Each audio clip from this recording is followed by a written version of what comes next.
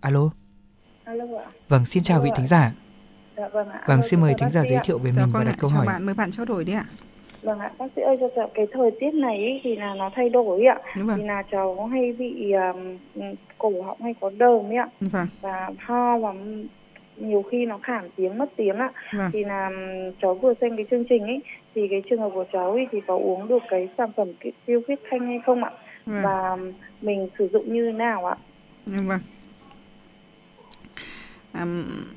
Đối với trường hợp như của bạn thì khi thay đổi thời tiết bạn bị ho rồi ho có đờm bạn có bị sốt không nhỉ Dạ có không ạ? bạn bị ho lâu chưa cách đây 2 tuần ạ. vâng hai tuần là bạn chưa đi khám đâu đúng không Dạ vâng ạ.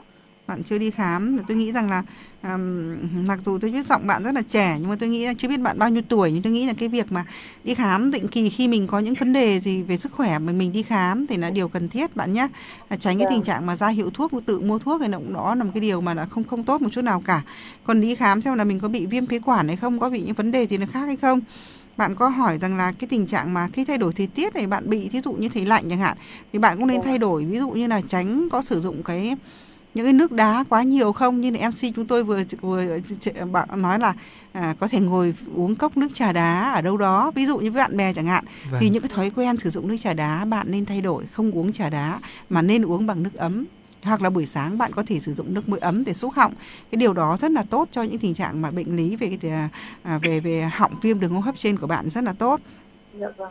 À, trong cái lúc mà bạn chưa đi khám được thì tôi nghĩ rằng là bạn có thể sử dụng thực phẩm chức năng. À, một trong những thực phẩm chức năng mà tôi biết ấy, thí dụ như là bạn sử dụng tiêu khiết thanh tôi nghĩ rằng là bạn sử dụng sẽ rất là tốt bởi vì là với những cái cao như bán biên niên có tác dụng thanh nhiệt giải độc. Trong trường hợp như giải độc giải dị ứng trong trường hợp như bạn thay đổi thời tiết bạn bị bị ờ, bạn bị tình trạng nó nặng hơn thì chứng tỏ là cái tình trạng bạn bị dị ứng như vậy thì nó có tác dụng giải độc giải dị ứng rất là tốt.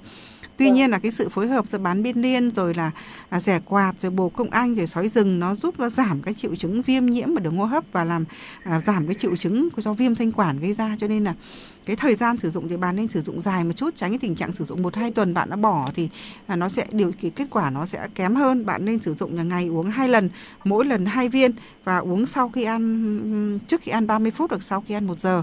Thì tôi nghĩ rằng là cái cách sử dụng như vậy thì cái thời gian uống một cách duy trì đều đặn như vậy thì cái triệu chứng của bạn nó sẽ cải thiện bạn nhé. Vâng ạ. Cảm Vâng ạ.